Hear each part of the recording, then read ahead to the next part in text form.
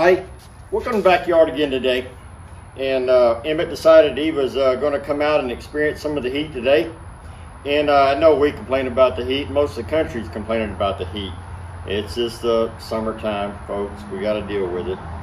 Folks, we're going to do a little meal for you today. We're going to do some beef ribs and some Brussels sprouts. Now, a lot of people don't like Brussels sprouts. They got a bad name. But hopefully I got a recipe that'll make you like Brussels sprouts. Let's talk about the beef ribs first. Got them underneath here. Uh, all we did with these is we brought them up to room temperature. I put some lime juice and salt and pepper on these. Now folks, these are not the ideal beef rib. They're really thin. They're more the cut of a steak thickness than they are a big like a dino rib or some big really beefy ribs. So these are gonna cook really fast. We gotta make sure they don't get tough. So we're gonna do a reverse sear on these. We're gonna put them in the smoker, let them get some smoke, and then we're gonna sear them off right at the end. So let me stick these on the smoker real quick and get them out of our way.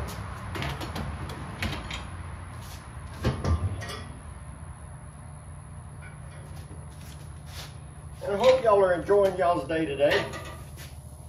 Uh, we're having a, a, very good day here and we always enjoy doing these videos for you and we like bringing them to you. Uh, we hope y'all enjoy watching the videos. Now where that goes, let's talk a little bit about Brussels sprouts.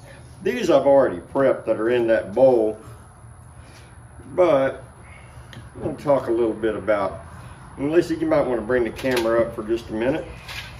But Brussels sprouts always have had a bad name. They got a lot of sulfur content in them and they want to really cause a lot of people problems. Here's how I do these Brussels sprouts. I get about a quarter inch up above the bottom of the Brussels and I cut that off. And that way the exterior leaves fall off really easy because we need to get rid of those. And all I simply do is cut this Brussels in half. Okay, so that's how I prep this whole bowl of Brussels sprouts. And we're gonna cook those today. And we're gonna cook them on the fire. And we're gonna do it on a 12 inch deep oven. And you're saying, oven? Yeah. But we're gonna put the lid on first, folks. Because this can also be a skillet. And because we don't wanna flip the Brussels sprouts out, we want something a little bit taller than a standard skillet. So we're gonna put this 12 inch oven on here.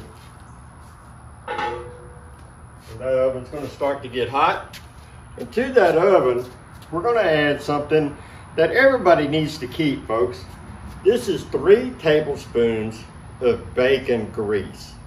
Now everybody's grandma and mom say bacon grease. We've got away from saving bacon grease nowadays, but we say bacon grease and it really comes in handy.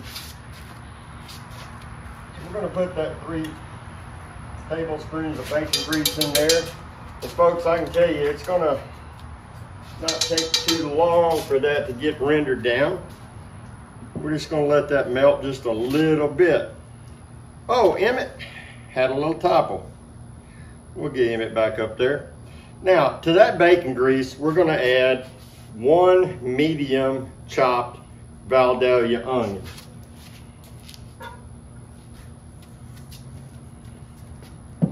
And Lisa, I'll continue with this if you'd go get me a wooden spoon because we forgot a wooden spoon, folks.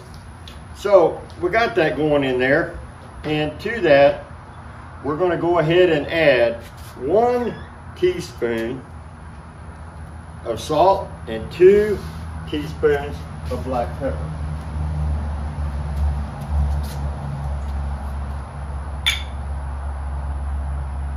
We're gonna add a tablespoon of white sugar.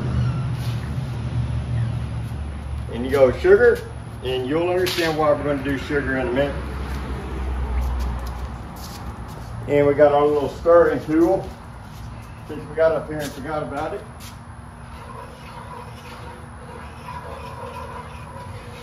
Give all that a good stir.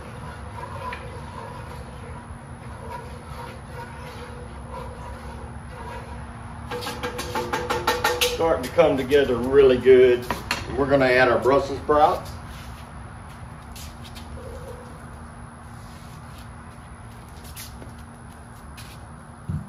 And then we're gonna add a teaspoon of chili powder. And a tablespoon of garlic, or about two cloves of garlic, one and a half to two cloves of garlic. And all of our chili powder didn't come out of there, folks. There we go. And the last thing we're going to add, which is what's going to help the Brussels sprouts in my recipe come together, this is two tablespoons of apple cider vinegar. And if the oven's hot, folks, we got to be careful and just don't throw that in there. But always let that vinegar, always keep my vinegar at room temperature. All right, I'm going to give this a quick stir.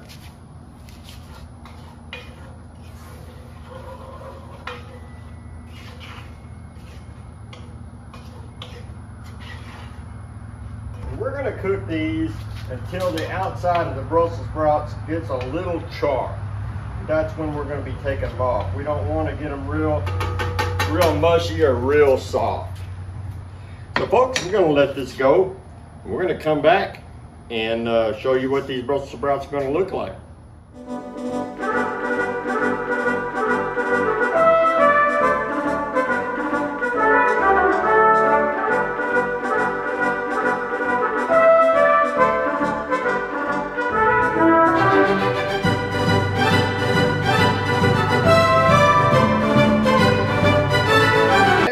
Welcome back. Let's give these Brussels sprouts a little check. And they are sizzling up pretty good. We're starting to get just a little bit of char on there, ever so lightly. So what we're gonna do is, folks, is we're gonna pull that off. Set it down here on the ground because we got to remember our cast iron is still really hot. It's going to continue to cook uh, inside the cast iron. So folks, I want to explain a little bit about my Brussels sprouts because I kind of rushed through the first part of this video. The vinegar and the sugar combination will take a little bit of that bite out of the Brussels sprout. I think you all know what I'm talking about, but Brussels sprouts have a, they, they've got a bad name a lot of people don't like them because they've got a real pungent taste to them. And that uh, vinegar and that sugar will work to take some of that out, make them more pleasant for you. Now, also with these Brussels sprouts, folks, we're doing these ribs. So we've got the ribs on the smoker while we did the Brussels sprouts. All right, we're gonna try to move them over and get a little sear on them real quick. Now again, over here, they've only had smoke. They haven't had any uh, real heat to them.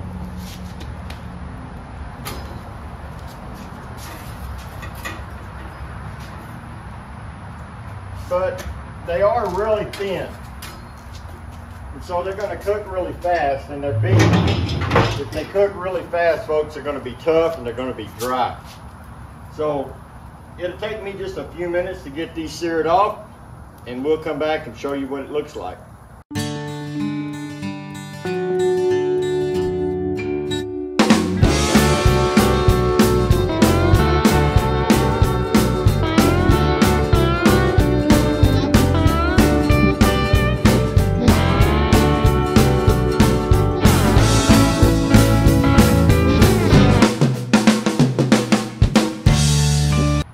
Welcome back, folks. These ribs didn't take but maybe three to five minutes. They're, like I said, they're really thin, and because there's a bone in there, there's very little meat. You don't want to put a whole lot on there. They're going to really be tough. So let's get this pit closed up so that fire can go out. And let's take a little spot shake on our Brussels. Look like they kind of calmed down a little bit. They were sizzling pretty good at first. So uh, I'm to bring these up here. Lisa, you can take a little look at these.